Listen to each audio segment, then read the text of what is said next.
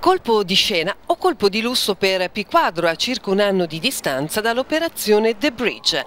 L'azienda emiliana di pelletteria quotata in borsa si porta a casa un brand icona come l'Ansel.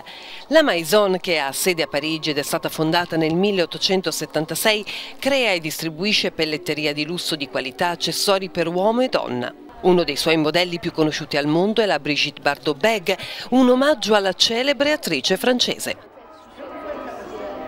Nel 2018 il gruppo Lancel ha realizzato un fatturato di circa 53 milioni di euro e ora per P4 il Made in Italy sarà in forte ascesa.